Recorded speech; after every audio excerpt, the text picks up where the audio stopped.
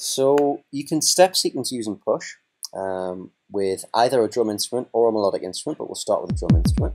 Turn this on, turn it up a little bit.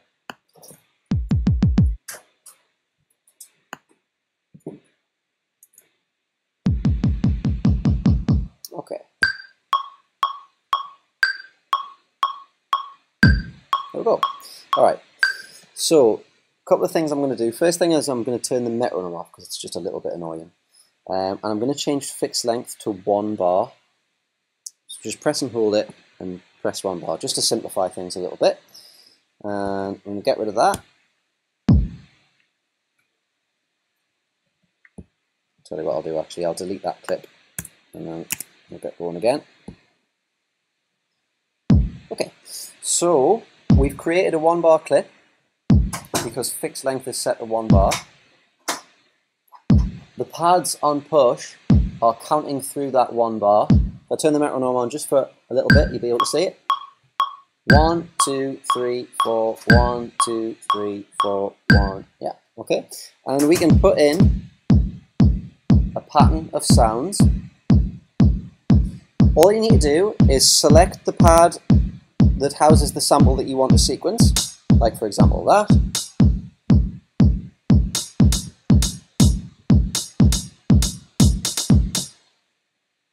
Press the pad, the pad will go blue, and now you've step sequenced your sound.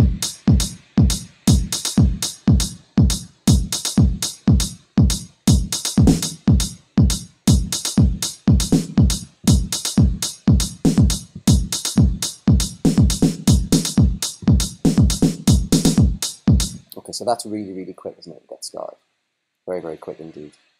There are a couple of other things you can do once, once you develop that. Um, if we look at the left-hand side here, got a few buttons where you can interact with clips.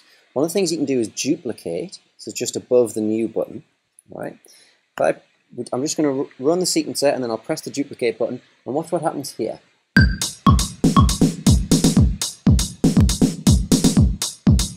Okay, so created a copy of that clip. These things here, incidentally, are called clips. It created a copy of the clip which was exactly the same, and the idea is that you can build up an arrangement of various different clips by expanding upon the previous one. So for that second one, I might add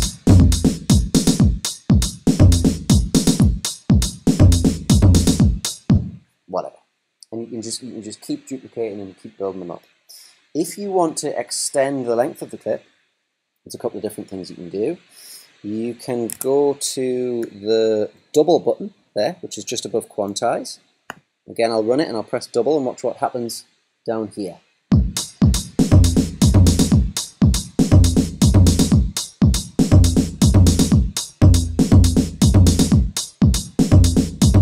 Okay, so it's changed it from a one bar clip to a two bar clip and it's taken all of the material from the first bar and it's copied it over to the second bar.